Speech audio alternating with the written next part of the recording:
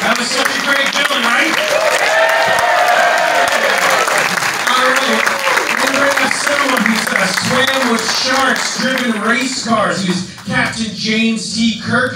Sergeant T.J. Hooker won two Emmys for Attorney Denny Crane. Was in the three cult films you saw today. Classics like The Twilight Zone, uh, Outer Limits, Naked City. Uh, he's written memoirs, novels. He's directed. He just wrote a new book. And oh yeah, he just went into space.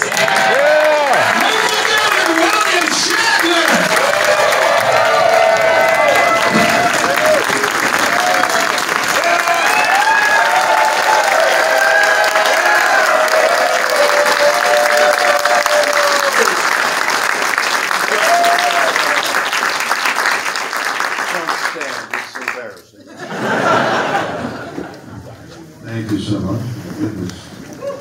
You know, I was sitting outside in the alley, my usual place,